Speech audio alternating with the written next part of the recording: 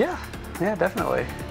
Um, fear is a big part of the mountains. I'm scared all the time. That man survived a nearly 2,000 foot drop from a Colorado 14er.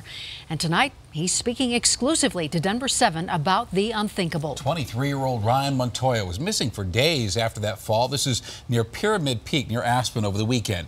Well, tonight he tells us what he was thinking, how he survived, and how it changed his life. And Denver 7's Marc Stewart is live at the University of Colorado Hospital right now where Montoya is.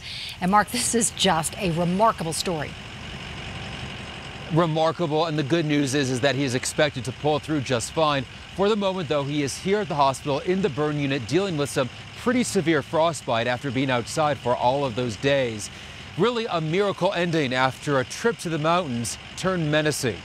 My goggles were all fogged out, so I don't really remember much except some big drops and a lot of sliding and some impacts. Despite some frostbite on his fingers and an injured arm, Ryan Montoya is celebrating his survival.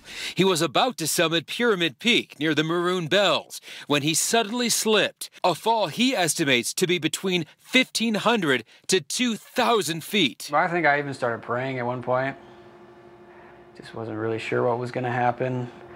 Um, I think at that point, more than any other time, I thought I was probably going to die. The intensity of his descent so strong, part of his helmet was ripped apart. Are you in your mind saying, I just want this to end, I want this to end? Yeah.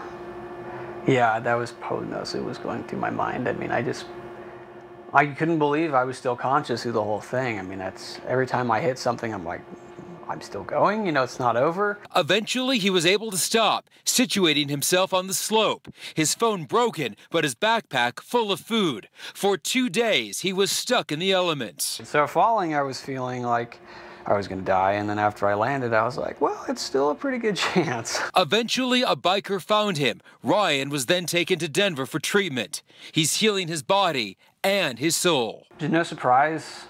You know, mountains don't care that you're there. You mess up, you take a big fall, and you pay the price. Ryan wants his family and friends to know he regrets some of the emotional stress the last 48 hours caused all of them. He also has a lot of appreciation toward the mountain rescue squad. In fact, one day he says perhaps he would like to do some work for them. We are live in Aurora tonight. Marc Stewart, Denver 7.